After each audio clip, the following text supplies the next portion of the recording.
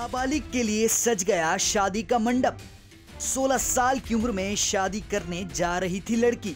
फिर पुलिस ने की एंट्री तो खुल गई सारी पोल।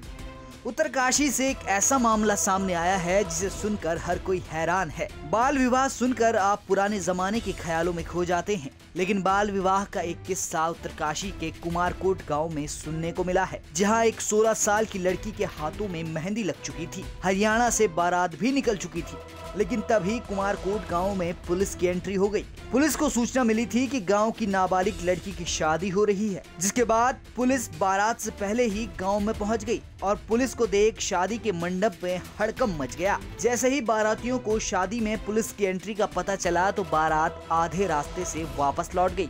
पुलिस के साथ डुंडा के तहसीलदार और चाइल्ड वेलफेयर कमेटी की टीम भी गाँव में पहुँची थी। हम्म, एक सूचना संज्ञान में सूचना आई थी डीसीआर को सूचना मिली थी कि कुमारकोट टिपरा गाँव में एक नाबालिग लड़की है उसकी शादी की जा रही है। तो इस सूचना पर तत्काल संज्ञान लेते हुए थाना धरासू की टीम, तहसीलदार और जो चाइल्ड वेलफेयर कमेटी है, उसकी उसकी टीम, जो संयुक्त टीम है, वो उधर वहाँ पे गई और वहाँ पे उस शादी को रुकवाई। ऐसा सुनने में आया था कि हरियाणा से जो बारात आ रही थी, वो ये सूचना सुनते ही गाँव में नहीं आई और वापस चली गई। पुलिस ने नाबालिग को बालिका वधु बनने से बचा लिया। पुलिस को जैसे ही मामले की भनक लगी तो पुलिस ने गाँव में दस्तक दे दी।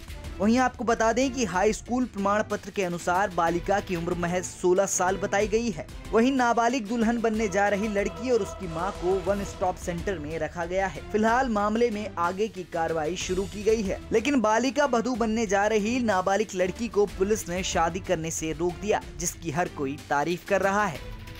उत्तरकाशी से ओंकार बहुगुणा के साथ, ब्यूरो रिपोर्ट, उत्तराखंड तक।